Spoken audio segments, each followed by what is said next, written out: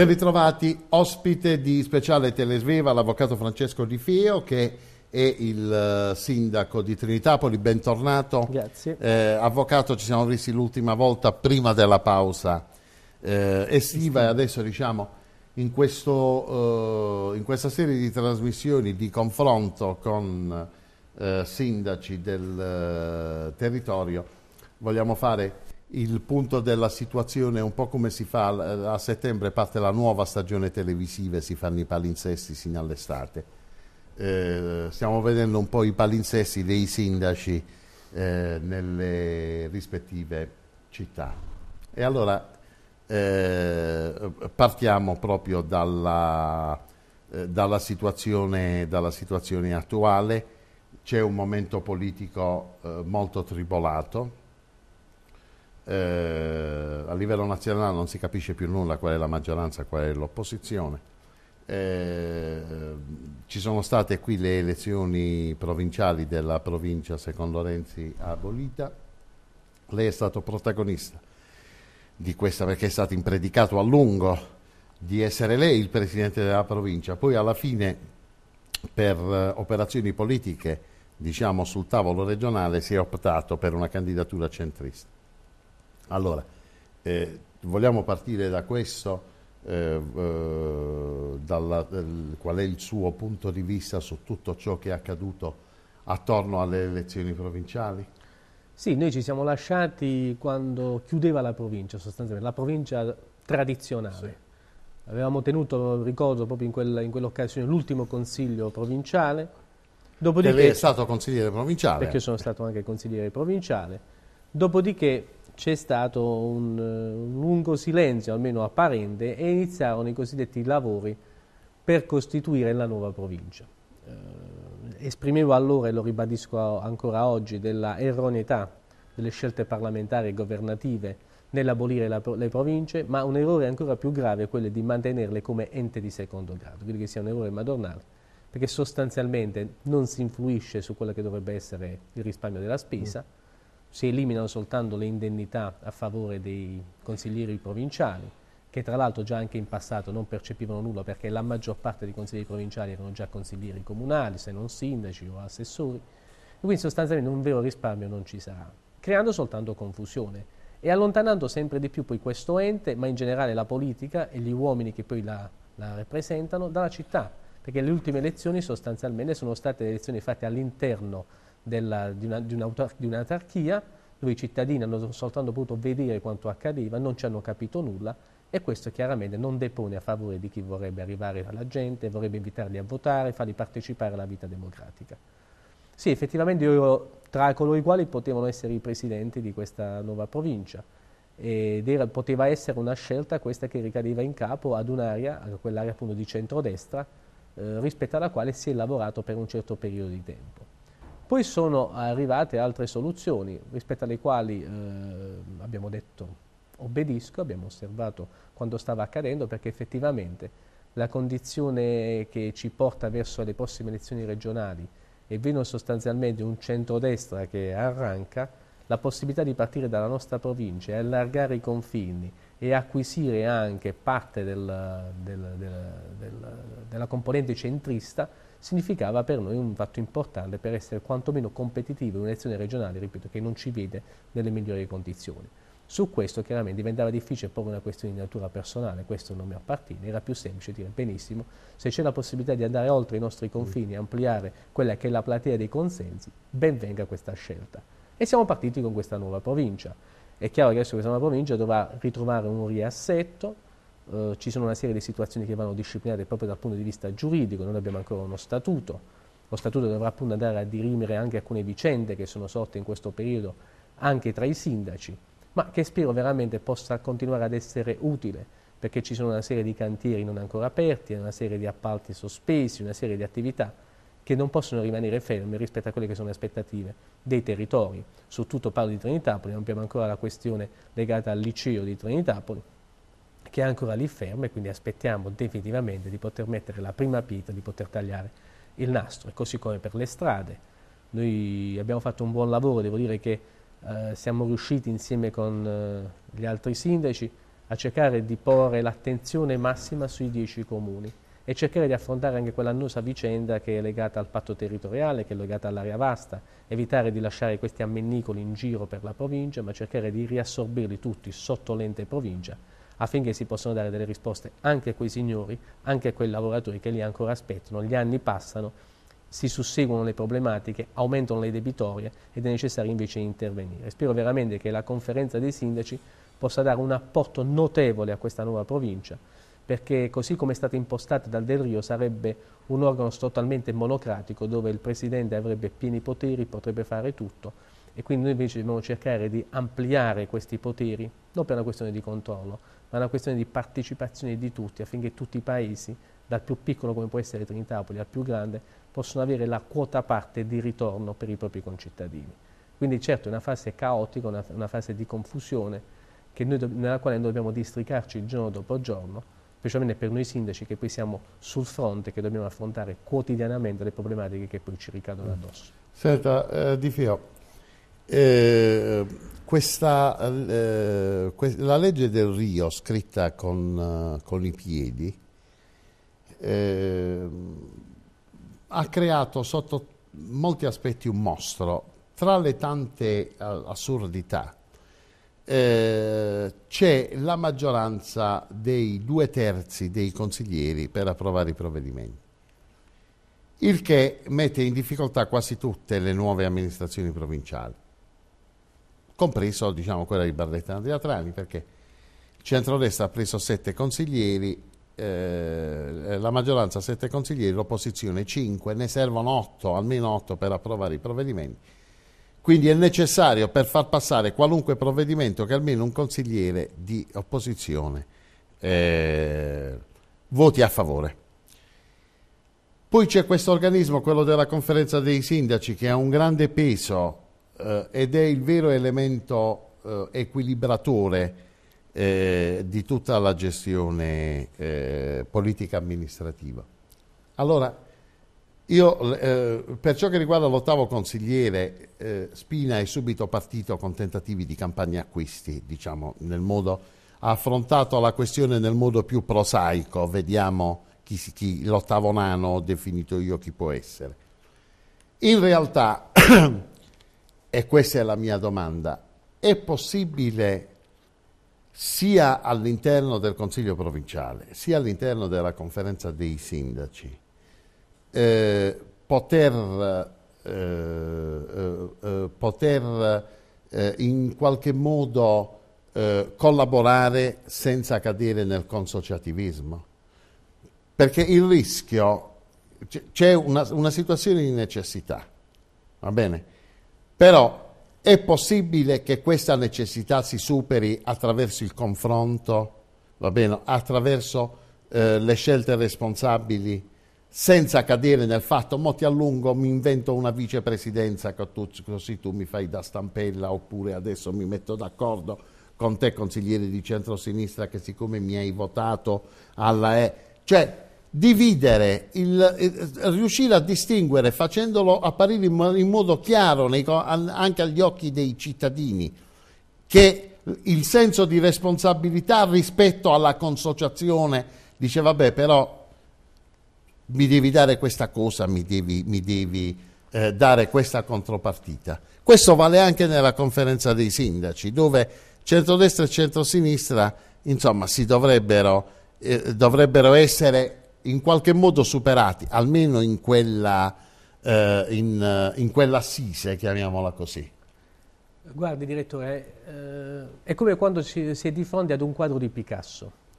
Per qualcuno potrebbe essere uno scarabocchio, mm. per qualcun altro poi diventa un capolavoro. Mm. Credo che la legge del Rio per alcuni versi è un capolavoro, perché l'ideatore l'ha tagliata a misura per le città metropolitane e per cercare di ottenere il massimo risultato possibile in un'area di centro-nord che potrebbe vedere vincitrici tutte quelle città capoluogo che sono appannaggio del centro-sinistra. Quindi quello è un capolavoro. Chiaramente quel capolavoro diventa uno scarabocchio quando poi le adattiamo sulla provincia. Poi rispetto al, alla, allo spettatore che guarda bisogna capire qual è l'aspettativa che ha lo spettatore.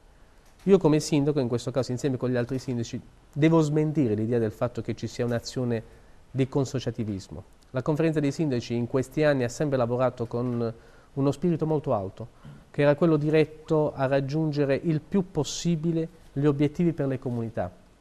Molte volte non ci si è riusciti, però parlo della sanità piuttosto che dell'ambiente, eh, piuttosto che dei rifiuti. C'è stata sempre un'attenzione massima e tutti i sindaci hanno sempre appoggiato il sindaco che in quel momento era in difficoltà. Da Spinazzola, passando per Andia, per Trani, Trinitapoli, c'è stata questa attenzione. E non si è mai stati al tavolo con una casacca. Fondamentale questo, non si è stati là con la casacca rossa piuttosto con la casacca blu, dieci sindaci che rappresentavano dieci, che rappresentano dieci città senza colore, l'istituzione che si siede. Credo che questo sarà il motore portante, l'ingranaggio che potrà dare anche l'equilibrio all'interno del Consiglio provinciale. E infatti nei primi incontri io sono anche contrario rispetto al fatto che Spina abbia avuto un atteggiamento prosaico, un atteggiamento Spina è stato corretto invece, una volta eletto è venuto nella conferenza dei sindaci e ha detto io non posso nascondere che c'è stato un risultato elettorale e che ci sono state delle elezioni. Abbiamo tentato di trovare degli accordi tra centro, sinistra e diciamo che questo tavolo ha fallito, un accordo non si è trovato, quindi ci siamo rimessi al voto. Il voto ha espresso una vittoria, quella vittoria ha espresso una maggioranza, quella maggioranza è di centrodestra e pertanto io darò i miei incarichi al centrodestra, anche perché essendo sindaco io non posso essere a 360 gradi a disposizione della provincia, quindi avrò necessità ovviamente di avere alcuni aiuti proprio nella gestione quotidiana, di qui la, le deleghe date ai sette consiglieri di maggioranza. Fermo restando che per il rispetto al tavolo istituzionale dei sindaci sarà necessario anche avere in capo all'opposizione una presenza che possa diventare un ponte appunto tra la conferenza dei sindaci, l'opposizione e la maggioranza, senza alcuna offerta, senza nessuna vendita, senza nessuna pretesa di alcunché. Tant'è vero che nell'ultima conferenza dei sindaci, sia il sindaco Lamacchia che il sindaco Cascella hanno sostanzialmente stigmatizzato questo e hanno detto che loro non ci stanno a consigli provinciali o a incarichi o a deleghe che non passino prima da un controllo preventivo della conferenza dei sindaci. Controllo preventivo che non vuole essere un veto al consiglio provinciale, ma che vuole essere invece una piattaforma su cui ragionare e trovare gli equilibri. E credo che questa sarà la strada che andrà a, trovare, a dare forza alla stessa provincia. E non ci dimentichiamo che in passato, io sono stato consigliere provinciale, lo dicevamo prima, i 30 consiglieri provinciali hanno sempre eh, agito come eh, 30 consiglieri provinciali di un'unica maggioranza, perché era una, una, provincia appena nata, erano i costituenti della provincia. in qualche modo. In eh. qualche modo c'era una sorta di opposizione repubblicana. Eh, vabbè, Diciamo che, ma vabbè, lasciamo Ma l'obiettivo qual è? Vediamo un velo pietoso sull'opposizione alla provincia, se no, si accettano proprio un paio di elementi. Perché sostanzialmente grossi argomenti, direttore, su cui fare una vera e propria opposizione. L'unica grossa opposizione fu fatta rispetto a quel famoso concorso del, eh, sul personale, tra l'altro ci sono stati anche ricorsi al TAR, io sono stato sottoscrittore anche di quel ricorso al TAR.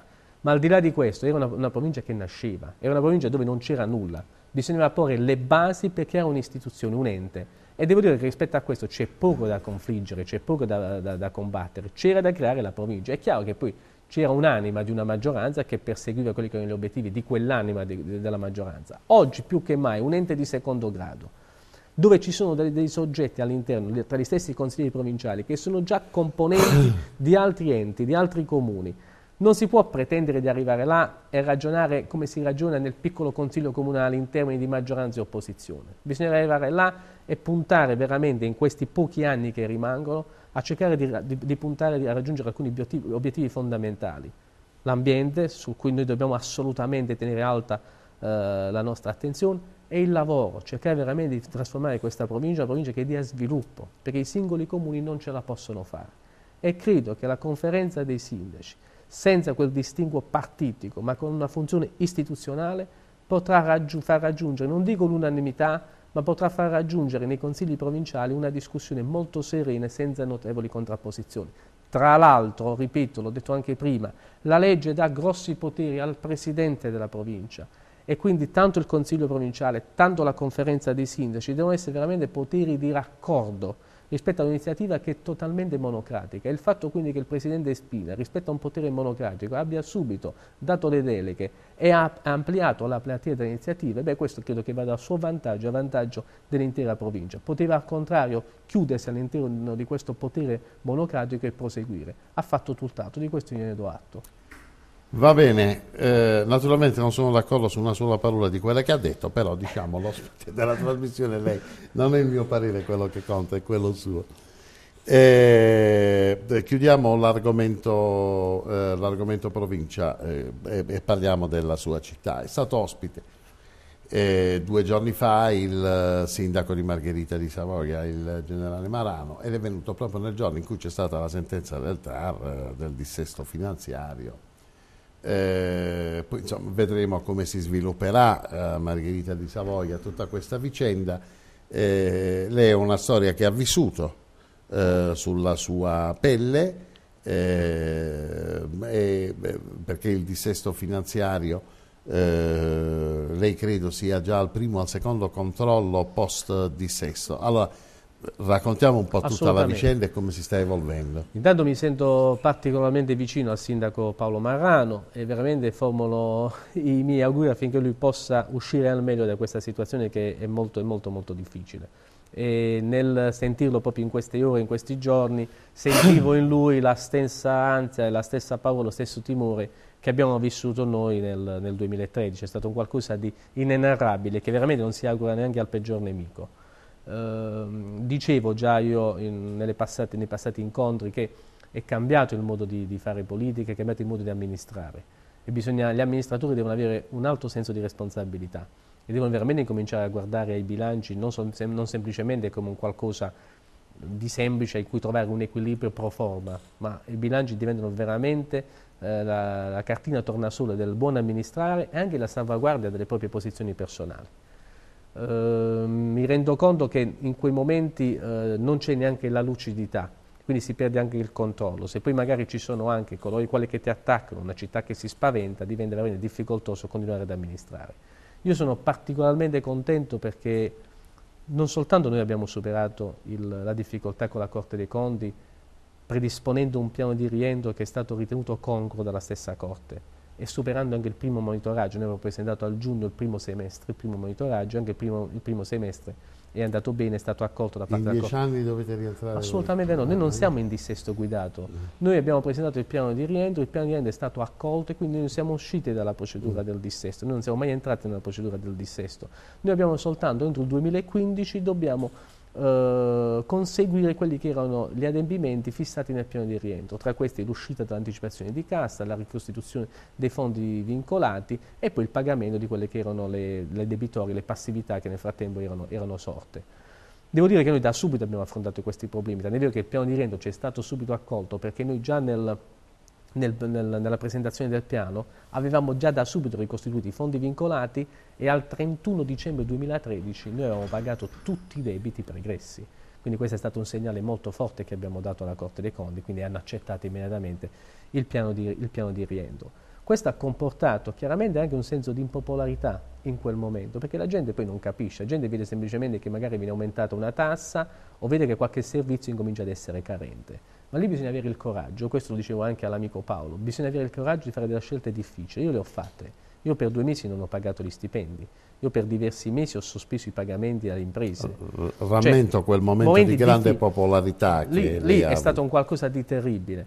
Però oggi io posso dire con molta soddisfazione che il peggio è stato superato. Oggi posso dire con molta soddisfazione che abbiamo garantito tutti i servizi pubblici essenziali. Io oggi posso dire con soddisfazione che è ripartita la città che possiamo, siamo in grado oggi di poter assicurare i servizi, siamo in grado oggi di poter fare delle attività che ieri c'erano assolutamente precluse.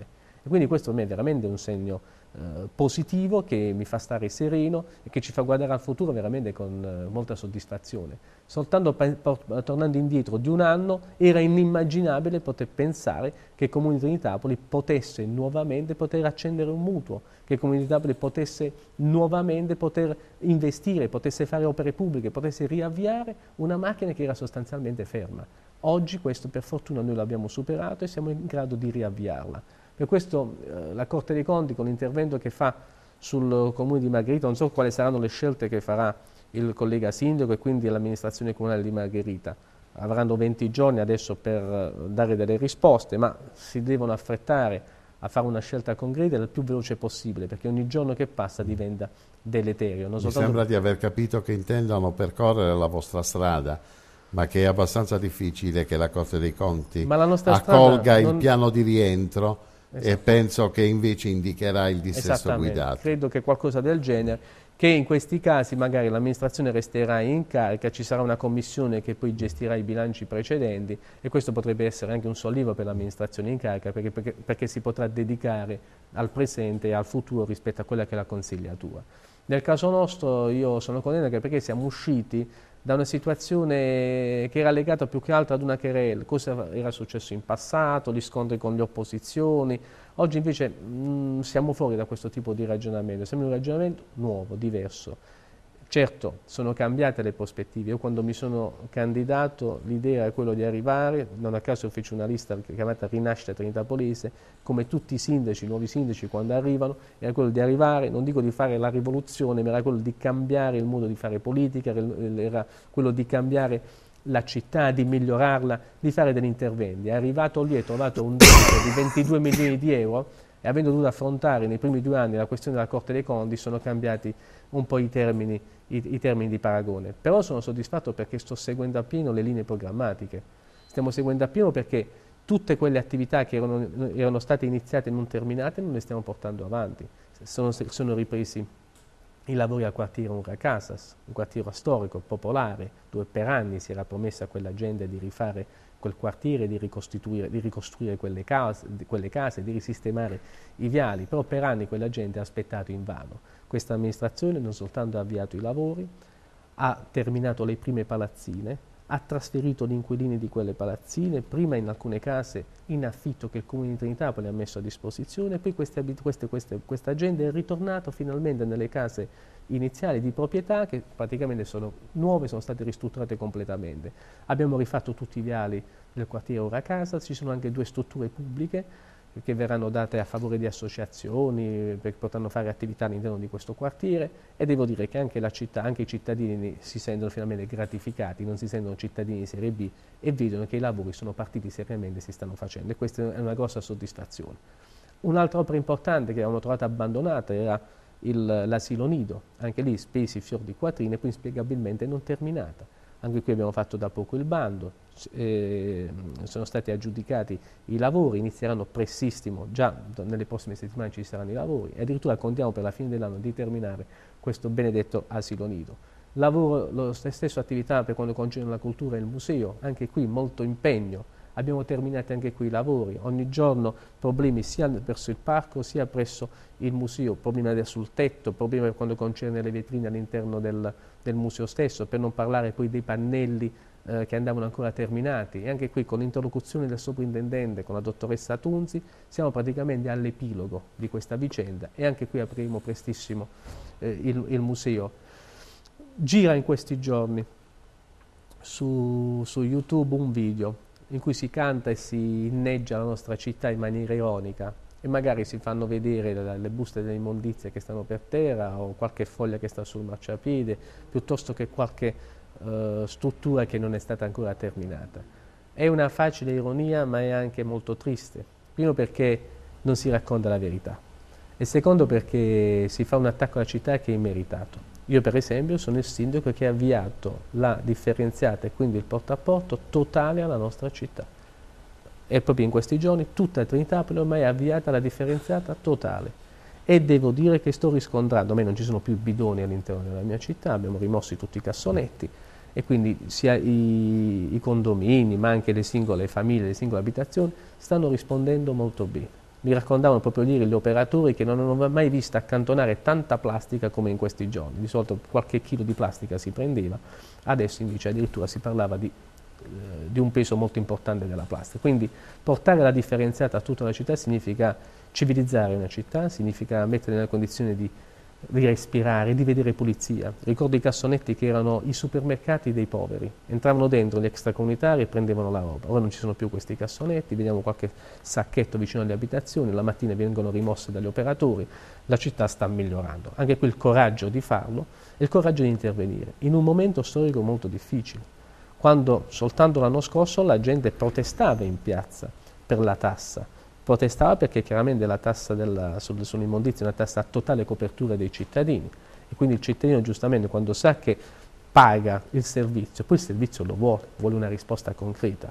E noi quest'anno siamo riusciti a fare qualcosa di straordinario. Non soltanto non abbiamo aumentato la tassa, ma con lo stesso costo dell'anno precedente abbiamo esteso la differenziata a tutto il paese. Noi avevamo un contratto di 1.400.000 euro e la differenziata era riservata soltanto ad alcune parti della nostra città. Noi con lo stesso costo di 1.440.000 euro abbiamo esteso la differenziata a tutto il paese. E il colmo dei colmi, questo non ci scommetteva nessuno, anzi qualcuno ci rideva, siamo anche riusciti a restituire ai nostri concittadini ben 139.000 euro, il cosiddetto bonus fiscale, legato al pagamento della tassa sui rifiuti all'anno dell'anno 2013, quando ci fu la protesta in piazza, perché in quell'anno noi, adottando la Tares, abbiamo dovuto fare una redistribuzione dei costi tra le domestiche e le non domestiche e soprattutto gli operatori commerciali, le non domestiche, ebbero un po' a, ad aversene perché sostanzialmente aumentò il costo della differenziata. Noi promettemmo che ci sarebbe stato un intervento, che avremmo verificato e che avremmo trovato anche le risorse per restituire sotto forma di bonus fiscale delle somme. Ci siamo riusciti, hanno pagato di meno e hanno ottenuto il bonus fiscale. Io credo che un'amministrazione che riesca a venire fuori dal dissesto finanziario, un'amministrazione che riesca a riattivare tutte le opere pubbliche, un'amministrazione che riesca addirittura a garantire tutti i servizi pubblici essenziali, a non aumentare le tasse, a restituire un bonus fiscale, io credo che stia facendo non un buon lavoro, ma stia facendo un, lavoro, un ottimo lavoro, andandosi ad incarnare interagire con quello che è il nuovo contesto sociale, economico e culturale e quelle che sono le nuove normative che impongono agli amministratori un'attenzione diversa. Da ultimo, dal, dal nostro bilancio comunale, con l'assessore ai servizi sociali, daremo in questo periodo più difficile, perché il periodo più difficile nelle nostre città è quello che va da novembre a marzo, dove purtroppo scarseggia la manodopera, riusciremo a fare con risorse del nostro comune la cosiddetta carta amica e quindi eh, faremo in modo che i nostri concittadini in questo periodo potranno recarsi con una scheda andare presso i supermercati, potranno fare una spesa, avranno un bonus di, di circa 150, 150, euro a testa, quindi con questo bonus potranno fare la spesa, beni essenziali, acqua, farina, latte, pane, che diventa necessario, indispensabile in questo momento difficile e per fronteggiare anche il Santo Natale che si avvicina. Quindi attenzione a 360 gradi, dai servizi sociali ai lavori pubblici all'ambiente. Va bene, eh, noi ci dobbiamo fermare per un minuto di pubblicità, poi parliamo, lei ci ha raccontato la sua città come in un mondo di fiabe, diciamo. Non, Ma è tutto poi, vero. Ah, vabbè, non dovremo trasferirci a Trinitapoli se, eh, se così è. Eh, ci fermiamo per un minuto di pubblicità, poi voglio parlare dei, insomma, dei rapporti di Trinitapoli con i, suoi, con i comuni viciniori, con uh, l'area di riferimento, eh, con quelle che sono le, eh, le strutture sovracomunali, ecco, chiamiamole così, provincia, patto territoriale, unione dei comuni, eccetera, eccetera. Lo facciamo tra un minuto di pubblicità. Bene, siamo tornati in studio per continuare la nostra intervista all'avvocato Francesco Di Feo, che è il sindaco di eh, Trinitapoli, come avevamo detto prima dell'interruzione pubblicitaria. Voglio capire adesso come Trinitapoli si pone eh, rispetto ai comuni eh, viciniori, quelle che sono eh, le, eh, insomma, le, le, eh, le, associazioni sovracomunali della provincia abbiamo già, abbiamo già detto eh, diffusamente, voi oltretutto eh, avete eletto a Trinitapoli il suo vice sindaco, è diventato consigliere eh, provinciale, eh, aveva mm, l'aspettativa la, la, maggiore eh, riguarda una scuola, il, eh, il liceo, c'è ancora in piedi la questione della strada provinciale Trinitapoli-Cerignola, credo che eh, vada affrontato in modo, in modo deciso. Sì, ehm, intanto rispetto al mondo delle favole, il mio entusiasmo che può... No, sembra... io non ho detto che la sua è una favola, ho detto che, che sembra, così come l'ha raccontata sembra una favola. Sembra, diciamo, un... il mio entusiasmo è legato al fatto di chi ha visto le fiamme dell'inferno di chi è entrato in un comune il primo giorno e ha trovato tutti i vigili urbani che anziché fare il saluto al sindaco chiedevano il pagamento dello stipendio, di chi ha visto dipendenti comunali non percepire lo stipendio per due mesi, di chi ha visto imprese dietro la porta tutti i giorni che stavano lì a bussare e chiedevano di essere pagate, di chi ha visto una città che praticamente era ferma, di una città che era sommersa dall'immondizia, di una città che praticamente non si respirava più, di gente che veniva là non soltanto a dire che non aveva più posto di lavoro, ma venivano imprenditori a dire noi stiamo chiudendo le aziende. Era sostanzialmente la cartina di tornasole di un'Italia che è ripiegata su se stessa. Da questo riuscire a rimettere a posto i conti, a cominciare a, vedere, a, dare delle risposte, a vedere prospettive. È evidente Beh, che le opposizioni non sono molto d'accordo con lei. Non sono molto d'accordo perché le opposizioni chiaramente non possono sancire la riuscita di un progetto e la riuscita di un'amministrazione che veniva data al massimo per un, anno, per un mese, un anno di vita. La mia amministrazione quando ha vinto, la, mia, la prima amministrazione a Trinitapoli dopo 40 anni, la prima amministrazione di centrodestra che vince e si diceva negli ambienti durerà fino a dicembre, durerà al massimo un anno. Questa amministrazione tiene, risolve i problemi che avevano precostituito il centro-sinistra per 40 anni e oggi addirittura crea le basi per rilanciare la città, anche a livello esterno. E la domanda che mi poneva direttore rispetto ai rapporti con gli altri comuni, con la stessa provincia, e sulla provincia vuol dire che anche lì massima soddisfazione perché Trinitapoli si è fatta rispettare anche in queste elezioni. E il fatto che il mio vice sindaco sia stato eletto e è stato anche il, il più suffragato è un, ha un significato molto importante per Trinitapoli, che segue un trend Beh, È stata anche una, una, una compensazione per il suo passo indietro. Ma questo andrebbe a sminuire anche l'attività politica posta in essere nella mia città. A noi c'era un'aspettativa nell'ambito del centro-destra di avere la presidenza e questo mi ha fatto anche piacere sul piano personale che era condivisa anche dagli altri sindaci dell'area di centro-destra. Ci siamo resi conto che forse da soli non potevamo bastare a noi stessi, quindi c'era il rischio, c'era un fatto matematico, però la matematica chiaramente lasciava anche dei dubbi da un punto di vista più strettamente politico. Poi c'era un ragionamento, l'ho detto prima, di allargare la platea e credo che questo per noi tornerà utile a livello regionale. Il lavoro invece ottenuto sul mio candidato, perché io ho scelto il vice sindaco perché volevo appunto cercare di ampliare anche la nostra forza anche in altri comuni. E devo dire che l'apporto di Andrea, l'apporto di Bisceglie, l'apporto di Barletta ha fatto sì che abbiamo eletto non soltanto il mio vice sindaco, ma che è stato il più suffragato e ha avuto anche delle deleghe molto importanti. E tant'è vero che già è all'opera e già eh, abbiamo messo su sulla nostra città alcuni interventi forti, stiamo rifacendo tutti i guardrail lungo le strade, stiamo sistemando la pista ciclabile, stiamo già facendo tagliare l'erba, devo dire c'è una, una bella presenza, la provincia, oggi Trinitapoli è ancora più presente in provincia. Per quanto concerne i rapporti invece con, con, gli altri comuni, ho sempre avuto un ottimo rapporto con tutti i sindaci e in special modo con i sindaci dei miei comuni vicini. Eh, rispetto al patto territoriale? Rispetto al patto territoriale. Eh, anche su questo c'è stata una polemica all'interno della conferenza dei sindaci. Perché a giusta ragione qualche sindaco si è sentito un po' indispettito.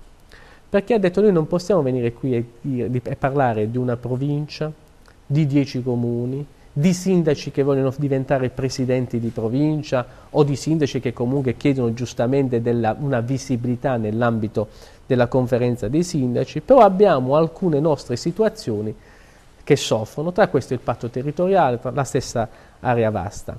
E quindi qualcuno incominciava a chiedere sostanzialmente una unità di intenti rispetto al patto territoriale, anche perché da ultimo, oltre all'uscita di Michele Lamacchia, del sindaco di San Ferdinando, oltre all'uscita del comune di Trinitapoli, c'è stata anche l'uscita del comune di Canosa di mm. Puglia con, con, la Salvia e lo stesso Gigi Riservato, sindaco di Trani, nell'ultimo incontro avuto alla conferenza dei sindaci, preannunciava anche lui la volontà di voler uscire dal patto territoriale.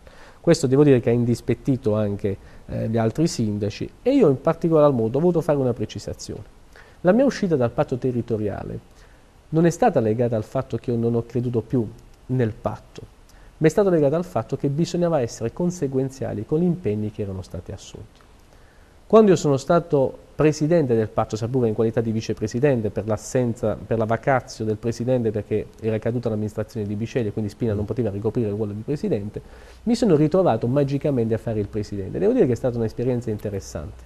Interessante perché ho, ho, ho constatato che lì ci sono delle risorse umane che hanno una valenza notevole ma ho constatato anche che quel patto era una sorta di isola abbandonata e che non veniva sfruttata come poteva dagli stessi comuni. Cioè i comuni spendono molti soldi per una serie di attività, dal piano sociale di zona, passando per interventi che si possono fare nell'ambiente, potendo utilizzare quelle risorse umane più delle volte che magari non vengono utilizzate, per non parlare di puglia imperiale. Magari la provincia poteva utilizzare quella quelle magari... professionalità anziché affidarsi a un'agenzia interinale. Perfetto, eh. perfetto, anche questo, anche questo, poteva essere fatto, perché no? Perché ci sono delle risorse che oggi lì non, non, percepiscono lo stipendio e ci sono risorse no, che perché sono... poi insomma bisogna essere coerenti nei comportamenti rispetto alle dichiarazioni. Indubbiamente, ma eh, rispetto a questo quindi io avevo notato che avevo proposto durante la mia vicepresidenza di fare che cosa? Di sciogliere le agenzie del patto, mm di unirle in un'unica agenzia,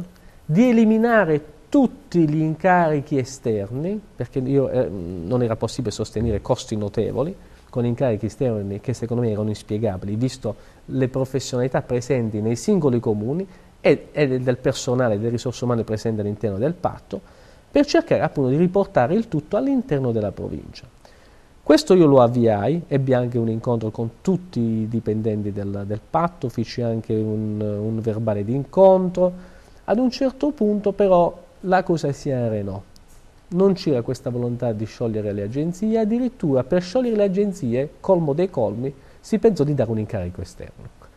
Allora, siccome ero contrario all'incarico esterno, dissi a questo punto io esco dal patto perché ci stiamo prendendo in giro. Io devo giustificare al mio comune, ai miei cittadini, le mie risorse pubbliche perché le do al patto e che ritorno alla mia città. Ma se io devo dare risorse pubbliche e poi non ci sono progettualità per la mia città e addirittura continuare a fare il giochino di nominare cariche esterni, io esco. Oggi, eh. oggi la situazione è ancora più drammatica di quel momento perché oggi le risorse umane non percepiscono gli stipendi, ci sono una serie di contenziosi che non sono stati ancora risolti e soprattutto non sanno queste, queste persone, questi lavoratori non sanno che fine faranno. Nell'ultima conferenza dei sindaci siamo detti che dobbiamo dare seguito al trasferimento della sede che è ancora ferma perché noi abbiamo la sede nel polo logistico di Andra, invece potrebbe essere trasferita presso il comune di Barletta anche perché lì ci sarebbe una sede eh, a titolo gratuito e quindi sarebbe molto importante. Dobbiamo definire la chiusura e lo scioglimento delle agenzie e assorbirle all'interno della provincia. Abbiamo un incontro nei prossimi giorni, nella prossima settimana, sarà un incontro di rimente. Io ho già posto un out-out.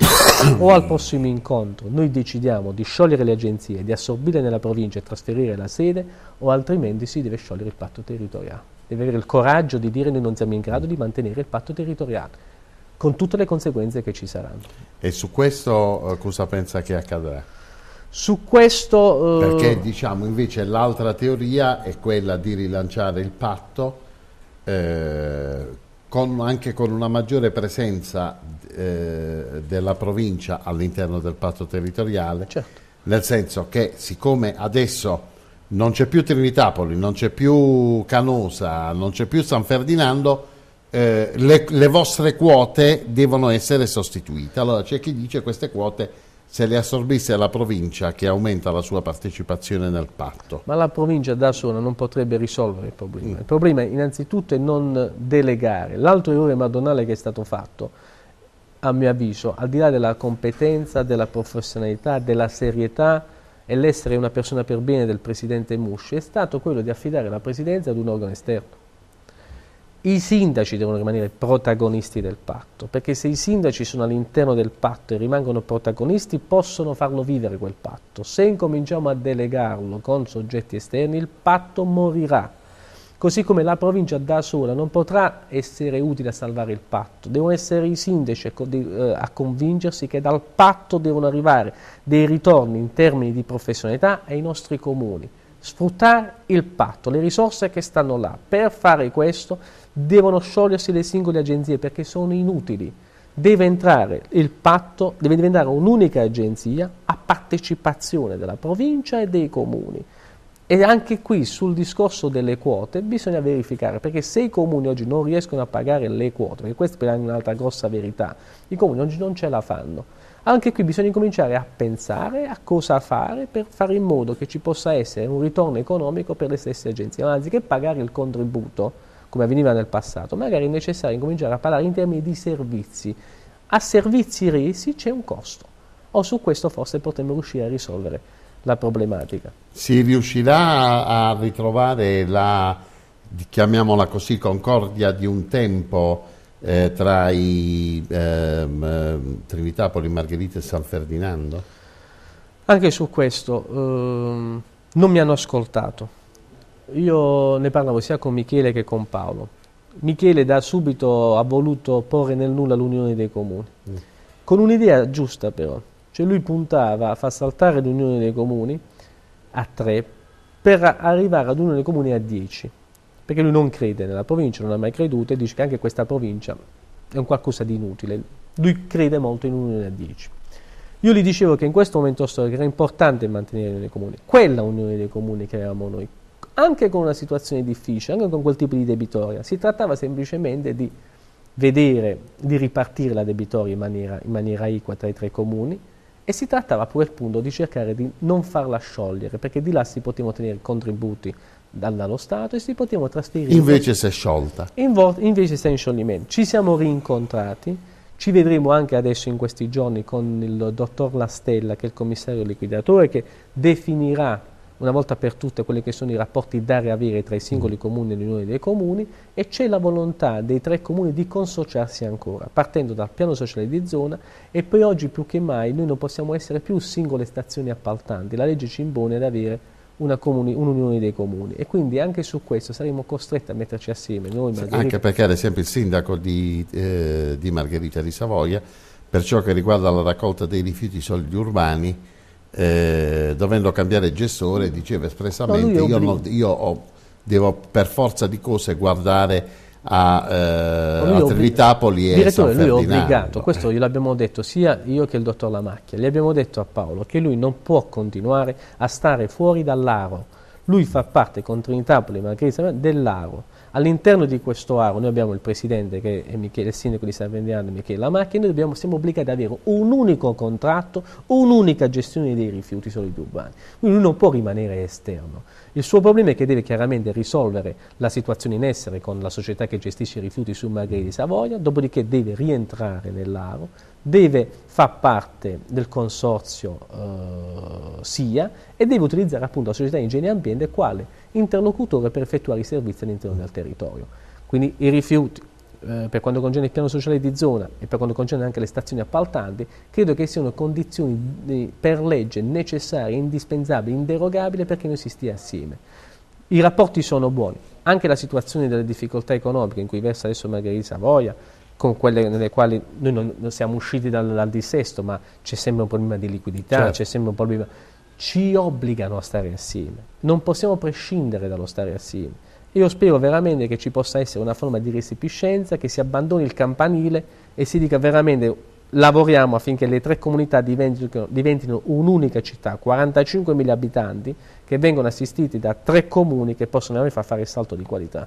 Siamo in conclusione. Un'ultima eh, battuta sui propositi eh, diciamo di, da, da, da, da, oggi sino alla prossima eh, estate si è concluso il terzo anno del suo eh, mandato, quindi diciamo eh, ci avviciniamo eh, al, alla, scadenza, certo. alla, scadenza, elettorale. E, e, quali sono le cose che pensa di poter riuscire a concretizzare nel lasso di tempo sino alla prossima estate? Noi al, abbiamo superato abbondantemente il giro di boe e ci avviamo verso la conclusione di questa legislatura. Io sono, come dicevo, soddisfattissimo di aver risanato i conti comunali, sono soddisfattissimo di aver agito con sobrietà, eh, con moderazione, mantenendo serenità nella città e mantenendo equilibrio. Sono soddisfattissimo di aver fatto ripartire i lavori.